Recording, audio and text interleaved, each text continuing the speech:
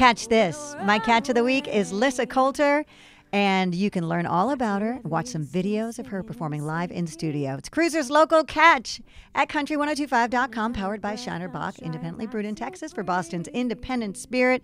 You have music out there for everyone to get? Yes. So um, all of my music and my new single, Maybe Tonight, can be found um, on iTunes, Spotify, Apple Music, all of that stuff. Or you could just head over to lyssacoulter.com. And you're off to Nashville, but before you do, you have some gigs. Yes, we have a few gigs around the Worcester area, um, so definitely come check us out in January and February.